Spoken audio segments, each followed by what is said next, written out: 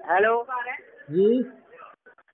नमस्कार सर मैं भाजपा प्रदेश कार्यालय लखनऊ से अभिषेक शर्मा बात कर रहा हूँ। क्या रंभा देवी जी से बात हो सकती है?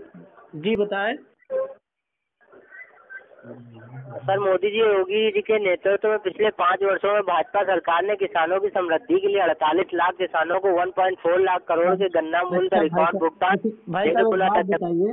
सम्मान निधि का समय पर भुगतान किया अगर आप भाई साहब मेरी जी बात सुन लीजिए कि आप केवल बोलते रहेंगे आपकी बात पहुँचाएँ। मेरी भी बात सुन लीजिए। जी। ये बताइए कि कि- क्या किसान निधि और गन्ना किसानों से मतलब है कि और कुछ से मतलब है? नहीं सर और आपको जो अगर शिकायत हो या कुछ बात बताना हो तो आप बता सकते हैं। बताना ये चाहते हैं कि ये बताइए अनुदेशक जो। है आप जिससे रंभा देवी से बात करना चाहते हैं मैं उनका लड़का बोल रहा हूँ। मैं एक अनुदेशक हूँ प्राथमिक विद्यालय में। और आप अनुदेशकों की स्थिति जानते हैं क्या स्थिति है? दो दो हज़ार सत्रह से सत्रह हज़ार अभी तक लंबित है और सेंट्रल गवर्नमेंट। से पास होने के बाद भी लेकिन आपके आपके। सरकार के माध्यम से अभी तक नहीं दिया गया। अच्छा सर। ये बताइए और ये बताइए क्या सात हज़ार में आप गुजारा कर सकते हैं? आप भी लखनऊ में रहते हैं ना? हाईटेक सिटी में रहते हैं। हम भी लखनऊ से ही पढ़े लिखे हैं।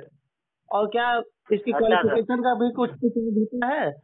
सरकार कुछ भी नहीं सोचती है इसके बारे में आप सरकार तक क्या हम- हमारी बातों को पहुंचाएँगे? बिल्कुल सर पहुंचाएँगे सर। आप इस चीज़ आप इस चीज़ बिल्कुल। आप इस चीज़ का जो है ना स्वतंत्र देव जी तक पहुँचा दीजिए।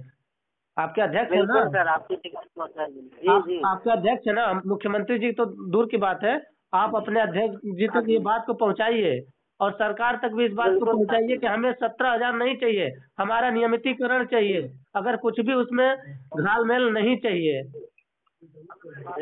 हाँ। ठीक है सर अदरवाइज़ अदरवाइज़ ज़्यादा दूर नहीं है शिक्षा मित्र है अनुदेशक है। अनेक विभाग में संविदा कर्मी है। अधिकार दिलाओ रैली हुई थी 2016 में 2 अप्रैल को। माननीय राजनाथ सिंह जी किए थे कौशल जी के नेतृत्व में। याद है कौशल किशोर जी। क्या नाम मोहनलालगंज के जो सांसद है उनके नेतृत्व में। आज तक वो अधिकार रैली गई कहाँ? दूसरे की सरकार बनती है तो अधिकार दिलाओ सबको संविदा कर्मियों को परमानेंट करो। और इस तरह किसी का परमानेंट नहीं होता है। अपनी सरकार आने पे सब लोग भूल जाते हैं।